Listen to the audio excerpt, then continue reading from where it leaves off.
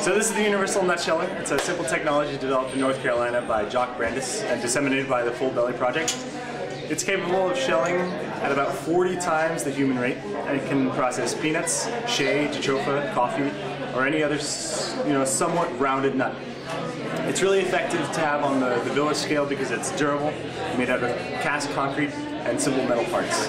Um, it's, it's simple enough to be operated by children, and it can last maybe 15 to 20 years if it's well operated and well cared for.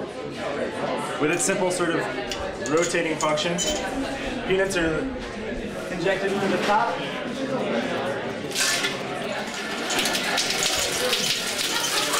And as they fall, they're caught between the, the external stator and the internal rotor and just simply spin shut.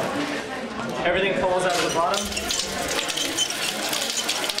And later, the husk and the peanut are winnowed to get the end, end result. It's a really simple technology, produced for about 30 mil. In the next three to six months, we'll probably get the, the, the cost down to about 15 to 20 mil, which is accessible to small, small women's groups or even individual families.